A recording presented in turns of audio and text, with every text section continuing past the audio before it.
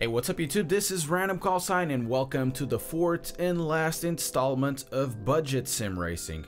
As the first three episodes were somewhat successful, it would be just right to finish this series with the topic that is missing. I've been doing this series with the objective of showing that sim racing does not need to be an expensive hobby, and while there are of course some really expensive equipments out there, with a bit of research and a lot of browsing and haggling, great deals can be had. The first video is about sim racing wheels, the second is about what sim racing titles to get, and the third is about some handy tips. But today's video will be about budget upgrades and ideas for your sim racing kit or rig. If you want to check the previous three videos, the playlist is in the card above as they might be handy for you. Before going forward, if you enjoy these topics and types of videos and you would like to help out the channel, don't forget to hit the like and subscribe buttons as it helps immensely.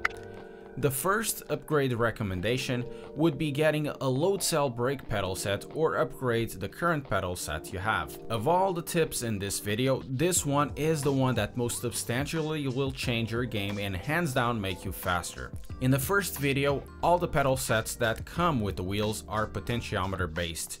Potentiometer are great to determine how much input is given based on the position of the pedal. This works exceptionally well in the case of the throttle inputs as well as the clutch. Clutches are generally used on an on-off basis and throttles most of the times are used in that way as well, though with some feathering required in some corners. Brake logic is much different.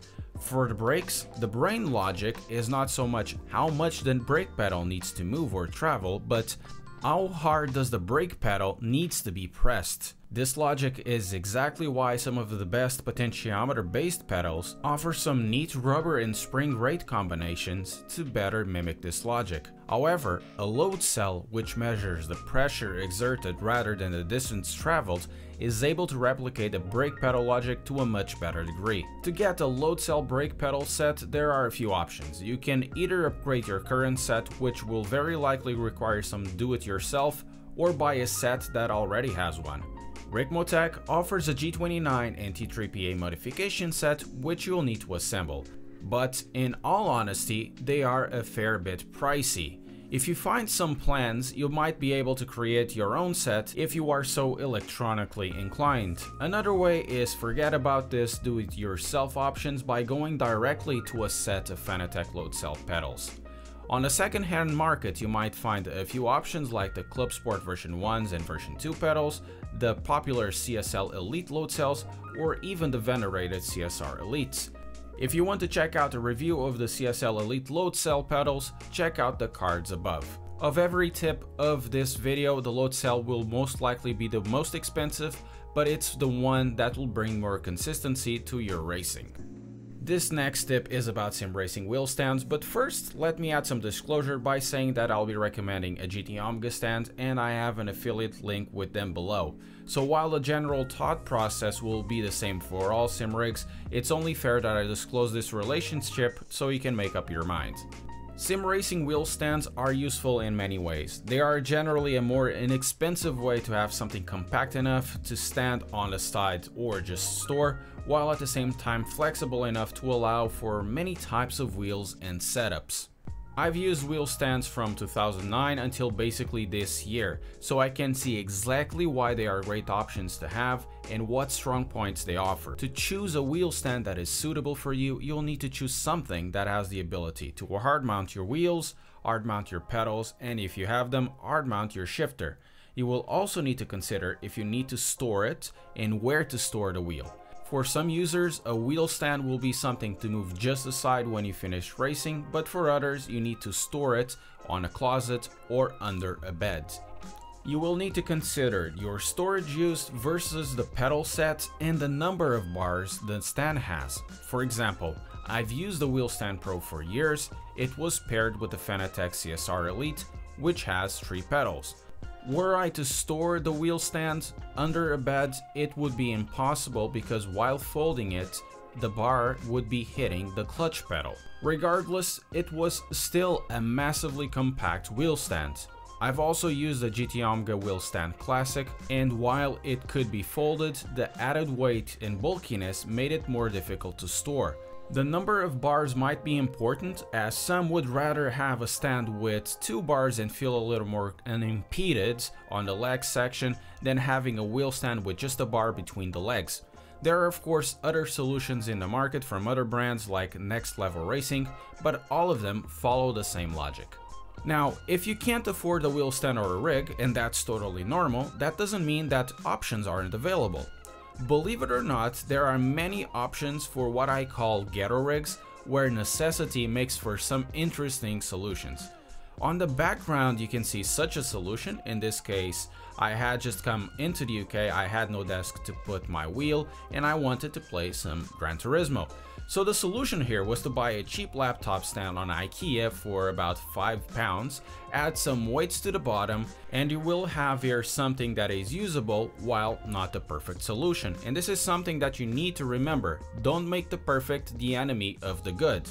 Speaking of IKEA, they also have the most popular ghetto sim rig of it all, which is called the Poäng chair. As you can see from the background, it kind of feels very comfy and it, there are some options if you look at it. The arms of the chair will get you some options, get maybe a board and a couple of clamps and then mount your wheel into the board and you'll have something that is usable. So the idea here is to find something you already have, like a chair you have stored somewhere or a chair that you use a lot but can be modified, and then tinker with it for options use your imagination, you might find you always had the equipment in front of your nose all the time.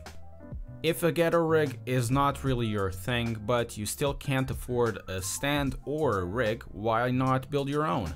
If you have the tools or get access to the tools, just go to a hardware shop or even a place where they might have some discarded boards and start the project. You can build a rig out of many materials, but generally woods or PVC pipes are the most popular.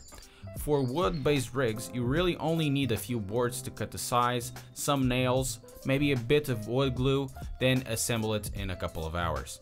The other popular options are PVC pipe rigs, which can be definitely more complicated and will require some sort of blueprint. For those, you will need to get some pipes cut to size, some joints and T-joints, as well as some epoxy glue. The result will be a more solid build and I'd say one that has more options and will allow for more equipment and upgradability in the future. The last tip harkens back to the first video regarding budget sim racing, which is basically always check the second-hand market. This is not only exclusive to equipment itself like wheel stands or new pedals or wheels, but for everything else too. You might find you can get an amazing deal for building materials or even a complete sim rig as well. Some people just need to get rid of their stuff and in rare cases they give it away for free. Another option is, if you have a friend that is committing himself to uh, upgrade, ask what is going to be done with the other equipment. If your friend is keeping it gathering dust or just stored away, give him a half serious, half joke offer. You never know, he might accept it. So here you have guys, thank you very much for watching, I hope you have enjoyed and I hope this was informative. If you did enjoy don't forget to press like, uh, subscribe, share maybe even. Also press the notification bell so you'll see notifications of new videos and streams when they come out. Thank you very much for watching and I'll see you next time.